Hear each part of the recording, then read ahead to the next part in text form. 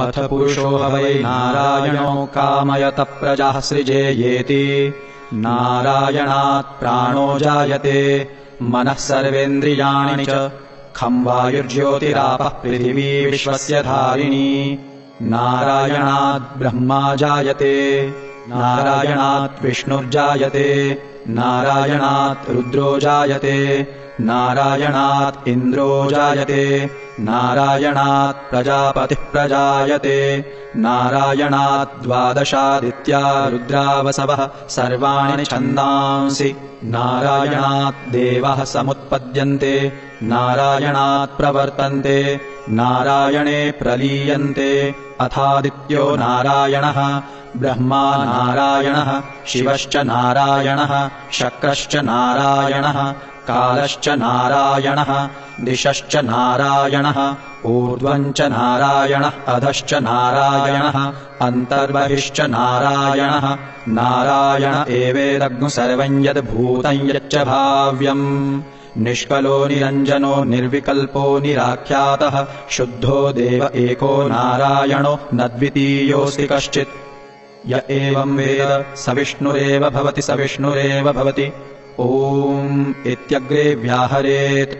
नम इति पश्चात् नारायणायेत्युपरिष्टात्। ओम् इत्येकाक्षरम् नम इति द्वे अक्षरे नारायणायेति पञ्चाक्षराणि एतद्वै नारायणस्याष्टाक्षरम् पदम्। यो ह वै नारायणस्याष्टाक्षरम् पदमध्येति। अनुपव्रतः सर्वमायुरेति। विन्दति प्रजाम् राजस्पोषम् गोपत्यम्। ततोऽमृतत्वमश्नुते ततोऽमृतत्वमश्नुते इति। प्रत्यगानन्दम् ब्रह्मपुरुषम् प्रणवस्वरूपम्। अकार उकारो मकार इति तानेकधा संयोज्य तदेव तदोम् इति यमुक्त्वामुच्यते योगी जन्मसंसारबन्धनात्। ओम् नमो नारायणायेति मन्त्रोपासकः। वैकुण्ठभुवनम् गच्छति। तदिदम् परमम् पुण्डरीकम् विज्ञानघनम् तस्मात्तडिदाभमात्रम् ब्रह्मण्यो देवकीपुत्रो ब्रह्मण्यो मधुसूदनः। सर्वभूतस्थमेकम् वै नारायणम्।